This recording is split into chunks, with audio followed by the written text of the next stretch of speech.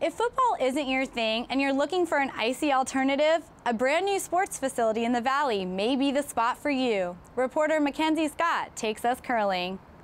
It involves ice, brooms, and rocks. And it's a sport you wouldn't expect to find in the desert. But curling is building momentum. Formed by Canadian transplants, including Winnipeg native Daryl Horseman, the Coyotes Curling Club have been practicing at the ice den since 2003 until members decided to put together money to form their own curling facility. 650,000 is all member donations. You know, we didn't have a, a, white knight or an angel come in and give us a million dollars. I guess it's a bit of a testament to the need or the will or the want to have curling in Arizona.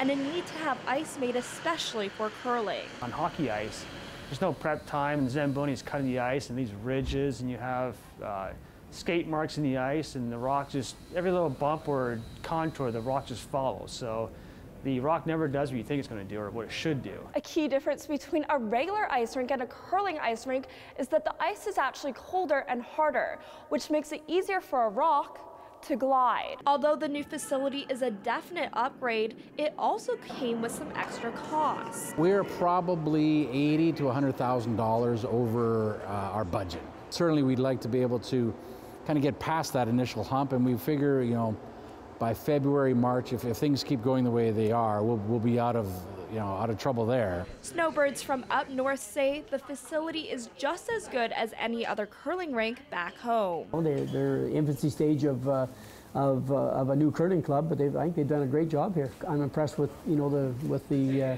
recording and the TVs and the way they've done the ice. And with the number of members increasing from 88 to 200 since moving, it seems the interest in the sport is increasing. In Tempe, Mackenzie Scott, Cronkite News. The curling facility allows the Coyotes Curling Club to host more Bonspiels, which is the curling term for tournaments. Their Fall Fiesta Bonspiel starts today.